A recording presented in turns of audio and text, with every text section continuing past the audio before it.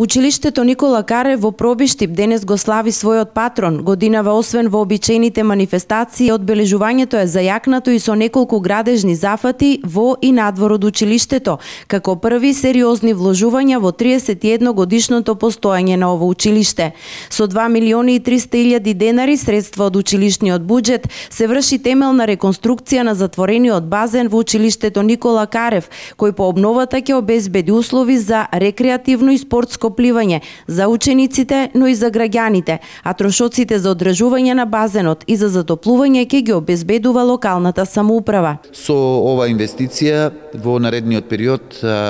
децата кои што учат во ова основно училиште ќе можат на часовите по физичко воспитување да тренираат пливање, односно да ги добијат основните часови по пливање, а во попладневните часови и во деновите кога се неработни, односно во паузата во летниот период посебно, па и во зимскиот, ние како локална самоуправа ќе се потрудиме да обезбедиме дополнително средства за загревање, одржување на базенот. Квалитетното менаџирање со училиштето резултира и со уште еден проект финансиран од собствени средства. Се работи за обнова на спортски терени во близина на училиштето. Во најкраток можен рок, некаде во мај месец, имаме планирано да распишеме тендер за реконструкција на надворешни спортски терени,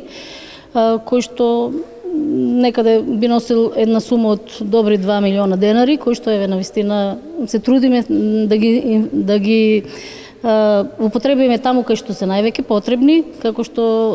знаеме Пробиштип е спортски град, има доста спортски терени, меѓутоа нашето училиште е малце на страна, а секако необходни се и за реализација на редовната настава. Основното општинско училиште Никола Карев денес го слави својот патронен празник со бројни спортски активности, полагање цвеќе пред спомен бистата на војводата и награди за најдобрите дела од литературниот и ликовниот конкурс за Никола Карев.